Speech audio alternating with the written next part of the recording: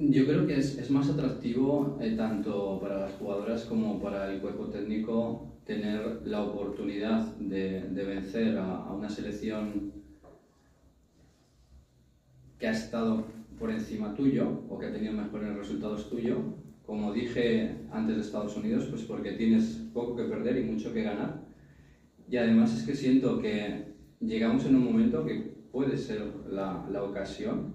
Imagínate, pues la alegría que te puede dar ganar el partido de mañana, no solamente por, por clasificar a la final, sino por posicionarte, ¿no? el, sentirte fuerte, el sentirte que, que, tienes un gran equipo, que, que lo de Estados Unidos no fue una casualidad, sino que es una realidad.